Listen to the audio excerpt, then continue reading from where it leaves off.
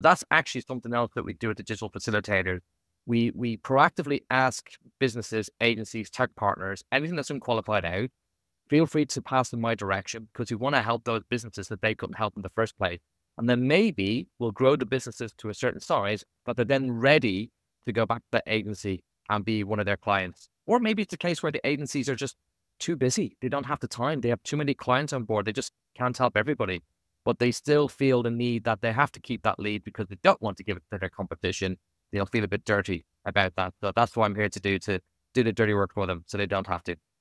And I see loads of great businesses. There, there are whole businesses out there that could exist from almost the scrapings of bigger bigger agencies work, you know, and I've I've been past some of those jobs exactly. myself and like had some fantastic relationships with some people that that are just um, bad fit for the others. And to your point, I'm sick of hearing how we shouldn't help the competition. There is no such yeah. thing as competition. If you know your business and you've built your business the right way up from the ground up, there is no competition because you are you and they are there, even if you do the same thing. Is that fair?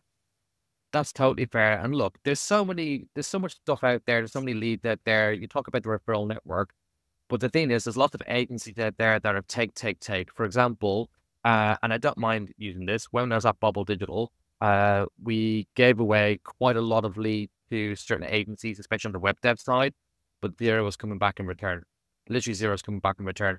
That's why I set it up in such a way that I want to make sure that people want to use digital facilitators for that need. So they're like, why should I give you all my leads, Alan? Why would I do that? That's just that's just crazy talk. So what I offer is, if you don't mind me saying, anyone that I then place elsewhere, I'll give away 25% of the entire revenue that the TDF makes uh, as a thank you. So for 10 seconds work, you know, the biggest one we've done today was £5,500 that we gave to someone and they only spent, I don't know, two days with us in regard to getting that project across the line. So not bad money to be had. And there's billions, not millions, billions out there that can be that that left on the table.